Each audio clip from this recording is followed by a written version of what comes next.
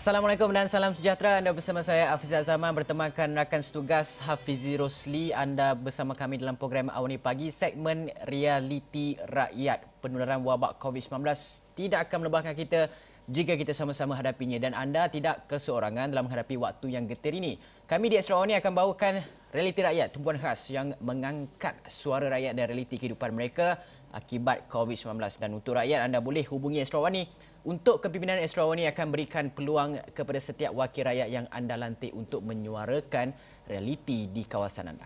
Dan ekonomi juga penting oleh situ dari sekecil-kecil usahawan mikro sehinggalah perniagaan gedung besar. Ini platform untuk anda suarakan isu dan inovasi yang diperlukan. Kerana setiap masalah, segala kegusaran akan kami bawakan di Astro Awani ini. Tiada yang tertinggal, tiada yang terpinggir kerana Astro Awani prihatin. Kekal di rumah kita, jaga kita untuk hapuskan COVID-19. Segmen Realiti Rakyat hari ini di Awani Pagi bermula jam 8.30 pagi.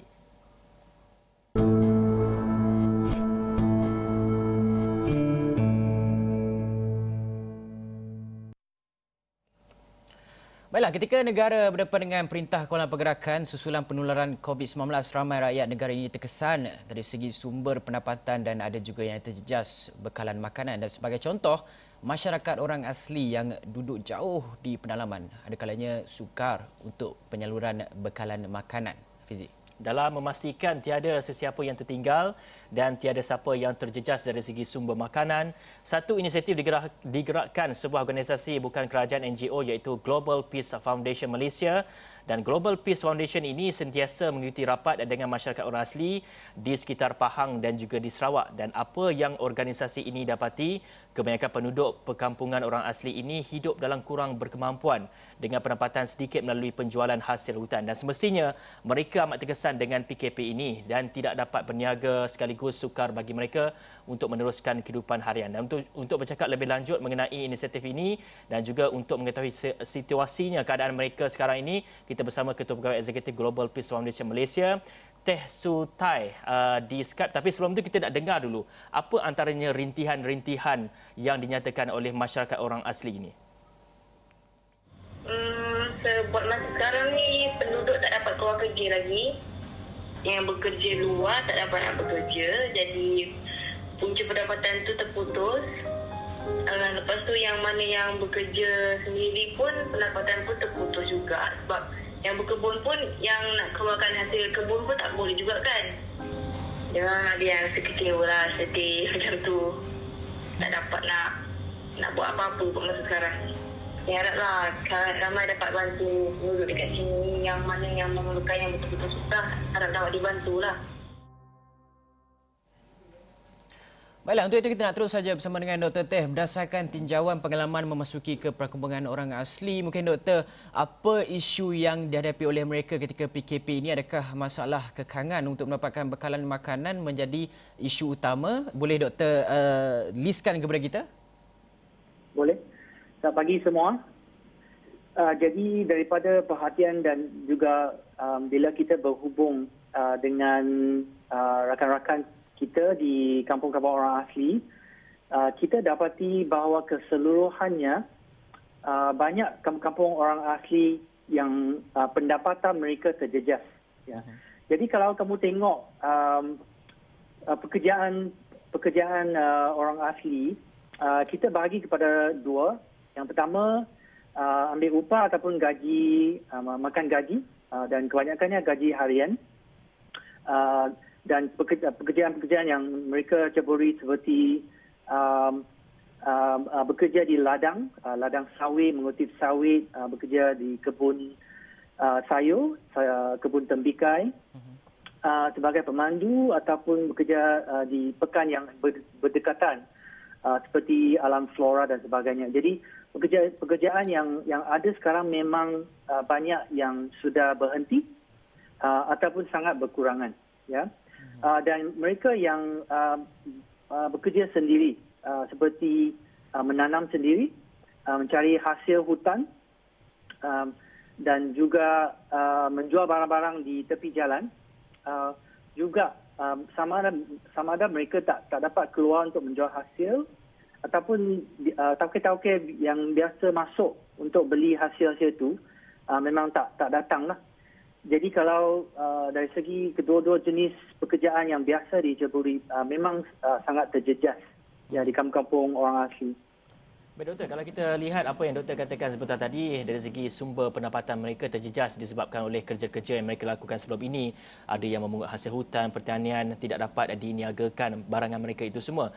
Itu kita dapat saksikan pertama adalah uh, pendapatan mereka terjejas dan kedua adakah kita nak melihat adakah dari segi uh, untuk mendapatkan bekalan makanan itu agak sukar bagi mereka dari segi untuk dapatkan stok dan sebagainya. Ya. Jadi uh, kalau kita tengok uh, kebanyakannya uh, uh, orang asli yang kita uh, berinteraksi uh, tidak banyak simpanan uh, simpanan duit.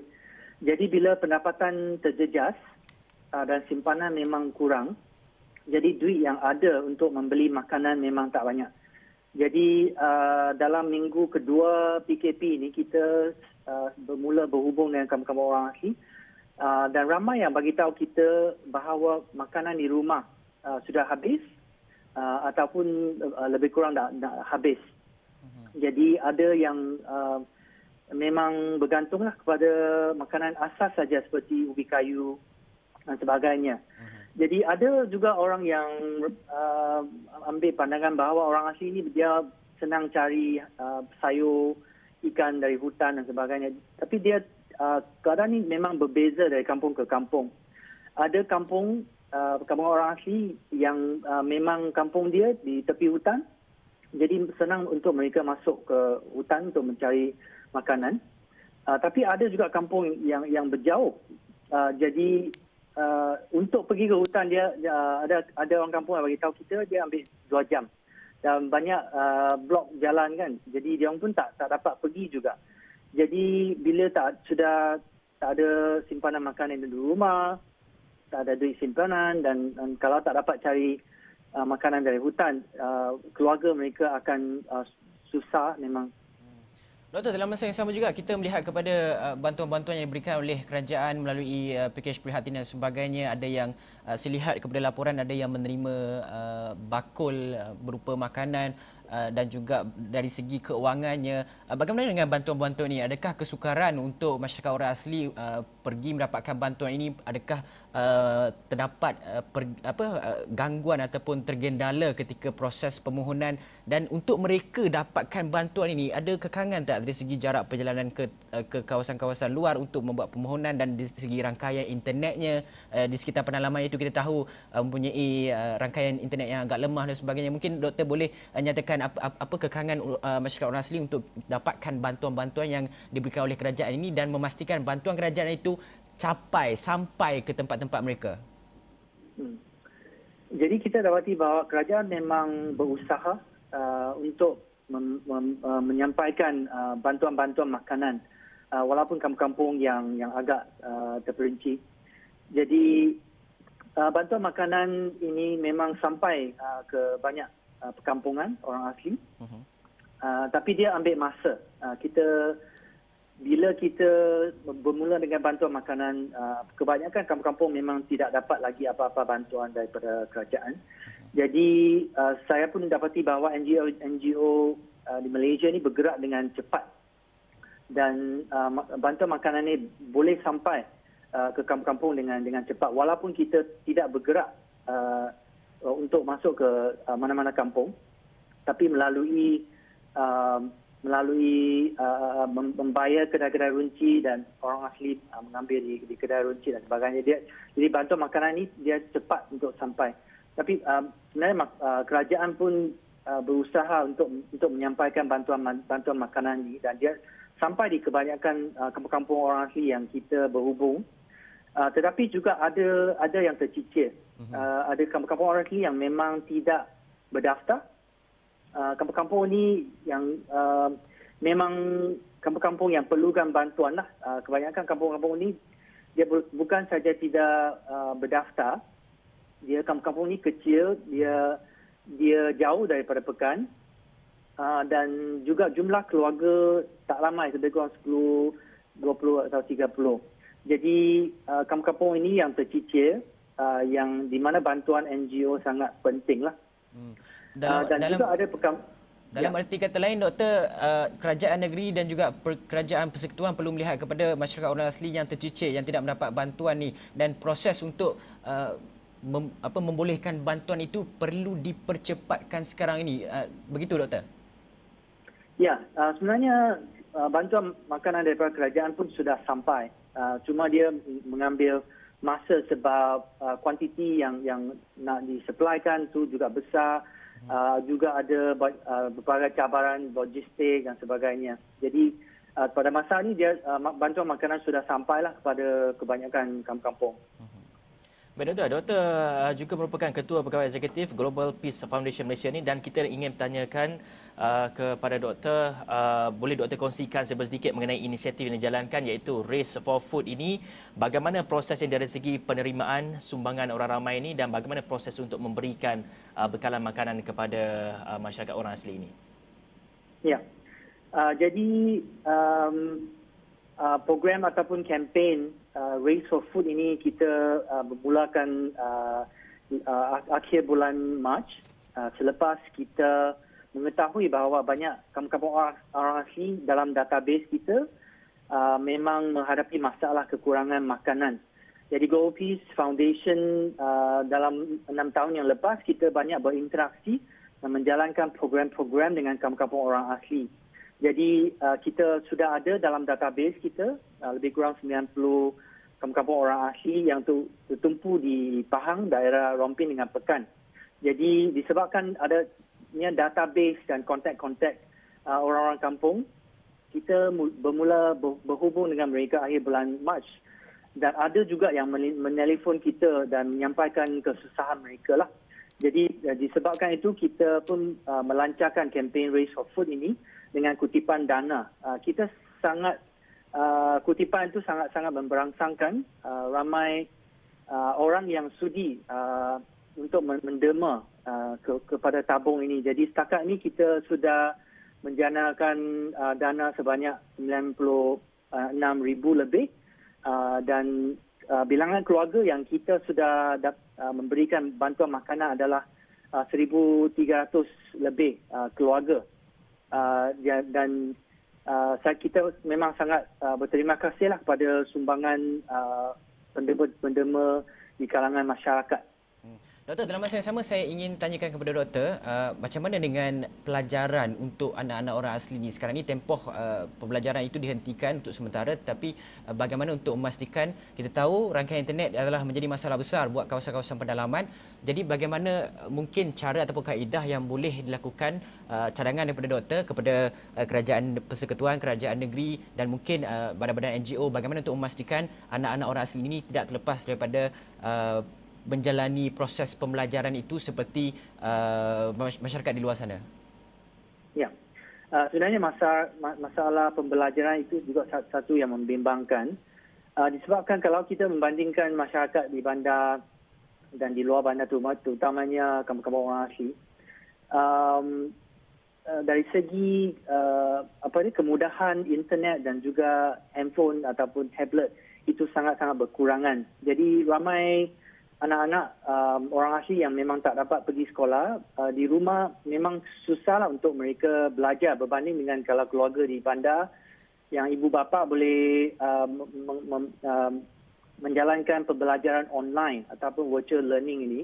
Uh, untuk masyarakat orang asli dia memang sangat berkurangan lah. Uh, kita sebenarnya tak tidak tahu ada keluarga di kampung-kampung yang kita kenali yang yang ada uh, membuat menjalankan uh, pembelajaran online. Jadi um, apa yang saya tengok juga ada perkampungan orang asli di mana NGO NGO uh, ada menubuhkan sekolah community ya.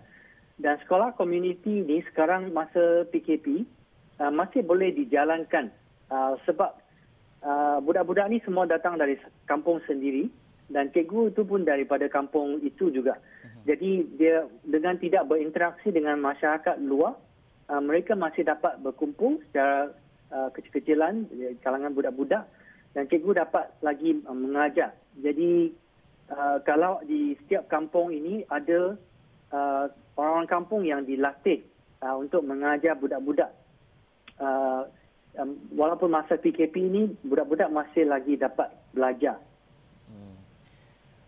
Baik, terima kasih doktor. Tapi sebelum itu doktor mungkin dapat uh, ulaskan sedikit bagaimana agaknya orang ramai sebenarnya uh, boleh membuat sumbangan kepada uh, Global Foundation ini untuk pastikan uh, di pihak uh, doktor sendiri dapat menyalurkan bantuan-bantuan ini. Mungkin ada crowdfunding yang dibuat ke bagaimana doktor? Ya.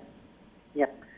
Jadi um, pada masa sekarang walaupun bantuan makanan sudah disalurkan oleh kerajaan dan juga pelbagai pihak uh, NGO uh, apa yang kita tengok juga uh, selepas PKP ini uh, keluarga-keluarga dan masyarakat orang asing uh, tidak akan dapat pulih serta-merta. Mhm. Ya, pekerjaan mungkin pun tidak akan uh, uh, ada uh, serta-merta.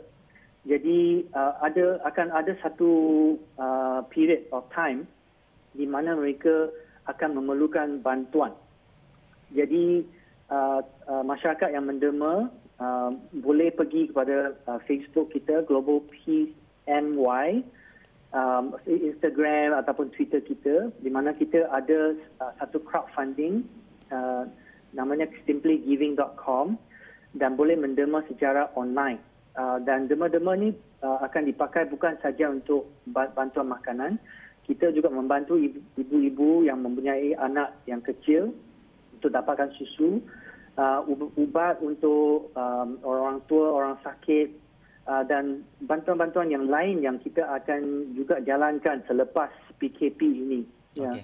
Jadi dari segi uh, bantuan prihatin kerajaan uh, yang tadi saya tak, tak dapat menyampaikan, uh, kita dapati bahawa di perkampungan yang kita berinteraksi, uh, ada lebih kurang 50% uh, penduduk-penduduk kampung uh, yang tidak berdaftar.